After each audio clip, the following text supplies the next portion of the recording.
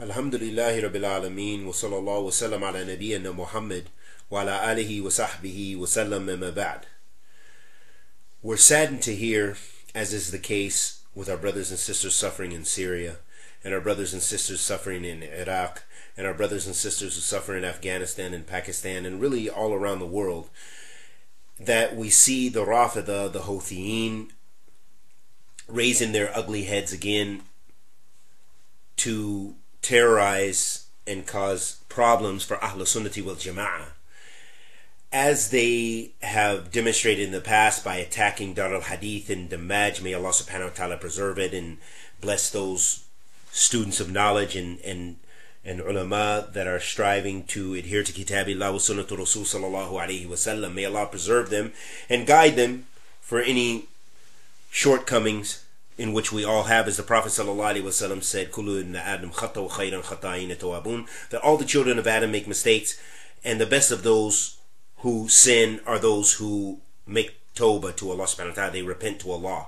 And during this blessed month of Ramadan, we don't want to forget our brothers, as it has just reached us that Sheikh Muhammad Al Imam, Hafidallahu Ta'ala, fi Dar Hadith fi Ma'bar, which is outside of the city of Sana'a, and also in Medina to Ib, that the Rafida Shia Houthiyeen, that they are attacking and causing problems for Ahl Sunnah, rebelling against the government, establishing checkpoints based upon their desires, based upon their wickedness, based upon their desire to spread fitna in the land, with the support, of course, of Iran and those people who give them the money and give them the weapons. So don't be deceived and think that this small group this tribe, which has very little resources, and Yemen being the poorest, the poorest Arab country in the world, that these people would not have run out of resources by now, and especially with the ongoing uh, problems that Yemen faces.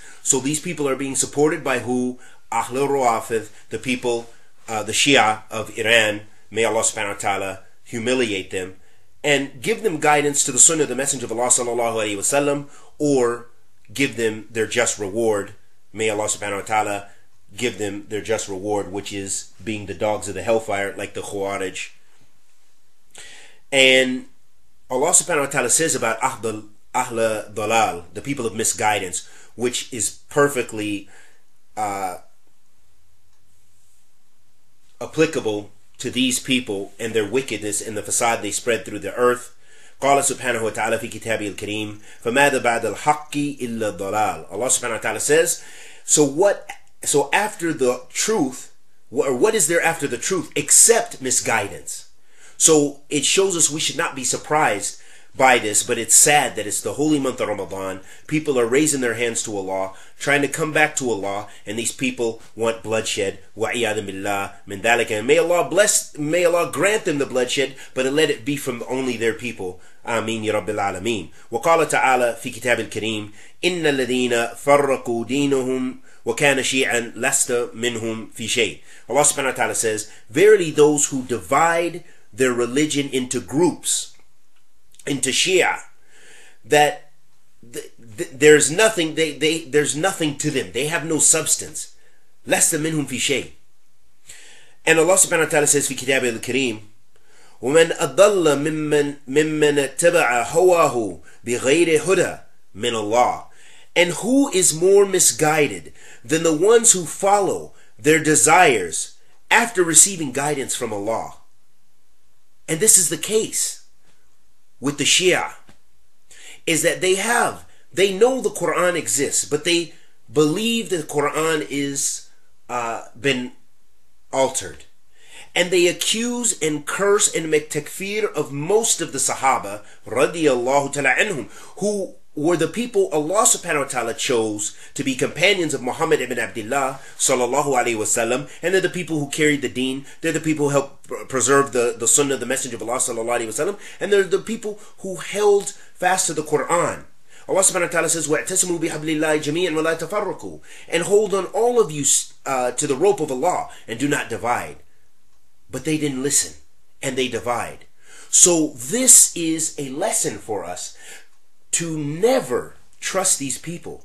no matter whether they be in America, no matter whether they be in Canada, no matter whether they be in the UK or Yemen or wherever they may be, that they they want no good. And this is in the history of Islam that they have attacked Ahl Islam and attacked and sold out and attacked Ahl Sunnati wal Jama'ah, as is the case with what's going on now in Yemen. And may Allah subhanahu wa ta'ala preserve the Sheikh and preserve the students of knowledge and preserve all of those, the, preserve the Muslims everywhere and protect the Muslims, especially this holy month of Ramadan. So make dua for your brothers. Allah subhanahu wa ta'ala says, Fi Kitab al-Kareem, about those who follow their desires and those who follow those ayats which are ambiguous, which may have more than one meaning.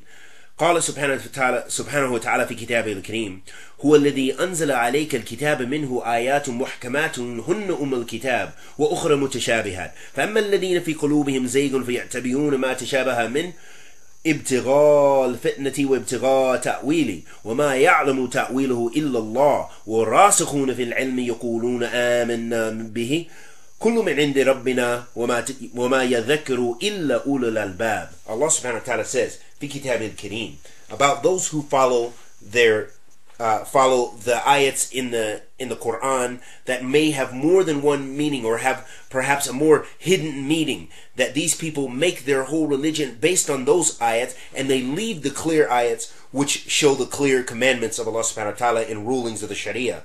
Allah subhanahu wa ta'ala says about them, it is He who has sent down to you the book in its verses that are entirely clear. They are the foundations of the book. And those are the verses of Al Ahkam, the commandments, and the Fara'id, the obligatory duties, and the Hudud, the laws for punishment, and so forth. And others that are ambiguous, meaning they have more than one meaning. The ayats in the Quran that have more than one meaning. Or their meaning may not be entirely clear, except, as Allah subhanahu wa ta'ala says, so as for those whose heart there is a deviation from the truth, they follow that which is not entirely clear thereof, seeking al fitna polytheism, and trials, and seeking for its hidden meanings, but none knows its hidden meanings except Allah. And those who are firmly grounded in knowledge say, We believe in it, the whole of it, are, and the whole of it is from our Lord, and none receive admonition except men of understanding. So this lets us know the Ahl Sunnah, the Haqq is with Ahl Sunnah. And Ahl Bid'ah and Ahl Dalal are the people who follow the Shubahat and the and the and the and the ayat mutashabihat. And those people are people who will never cease to try to cause harm, to Ahl Sunnah. And the Prophet wasallam said when this ayat, uh, when when Aisha radiallahu ta'ala anha asked about this ayat, this ayat, the Prophet alayhi salatu wasallam said, فإذا رأيت الذين يتبعون ما تشابه ما تشابه ما تشابه منه فأولئك الذين سمى الله فاحذروهم the Prophet alayhi afdal salatu wasalam said about this ayat, he said, So if you see those who follow those ambiguous verses, then know that those are the people Allah mentioned, so beware of them.